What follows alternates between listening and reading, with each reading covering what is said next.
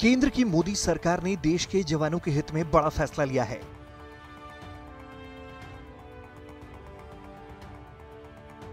देश के लिए शहीद होने और युद्ध में 60 प्रतिशत से अधिक विकलांग होने पर जवानों के परिजनों को अब केंद्र सरकार 8 लाख रुपए की आर्थिक मदद देगी।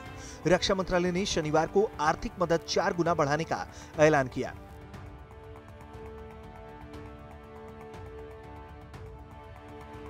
रक्षा मंत्री राजनाथ सिंह ने इस प्रस्ताव को मंजूरी दी है। इससे पहले दो लाख रुपए तक की मदद मिलती थी।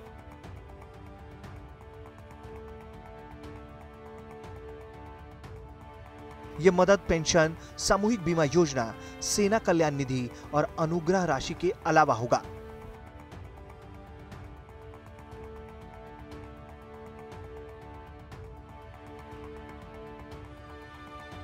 ये वेलफेयर फंड रक्षा मंत्रालय के एक्स सर्विसमैन वेलफेयर विभाग के तहत होगा, जिसकी स्थापना जुलाई 2017 में हुई थी। हालाँकि इसे लागू साल 2016 अप्रैल में किया गया था।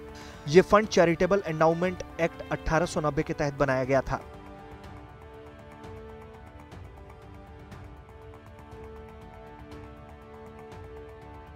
फंड के लिए साउथ ब्लॉक ब्रांच के सिंडिकेट बैंक में अकाउंट खोला गया था, जिसका अकाउंट नंबर है नौ शून्य पाँच पाँच। दो ज़ीरो एक ज़ीरो एक, छह पाँच, नौ एक पाँच। रक्षा मंत्री ने युद्ध हताहतों की सभी श्रेणी के परिवारों को दी जाने वाली आर्थिक सहायता दो लाख रुपए से बढ़ाकर आठ लाख रुपए करने की सैद्धांतिक स्वीकृति दी है।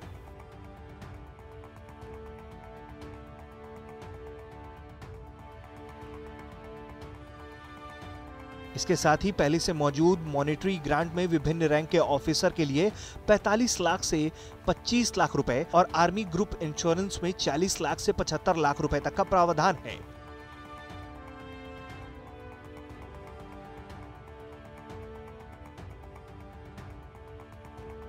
इससे पहले भी गृह मंत्री रहते हुए राजनाथ सिंह ने शहीदों और घायलों की मदद के लिए भारत के वीर फंड ऐप लॉन्च किया था। इस ऐप के ज़रिए देश की सीमाओं और आंतरिक सुरक्षा में तैनात केंद्रीय सशस्त्र पुलिस बल और अर्ध सैनिक बलों के जवानों के परिजनों को आर्थिक मदद दे सकते हैं।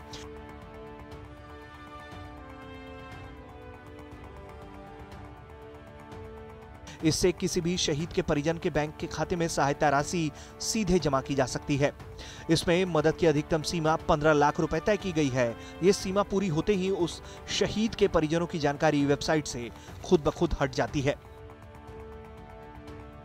ब्यूरो रिपोर्ट, भारत तक।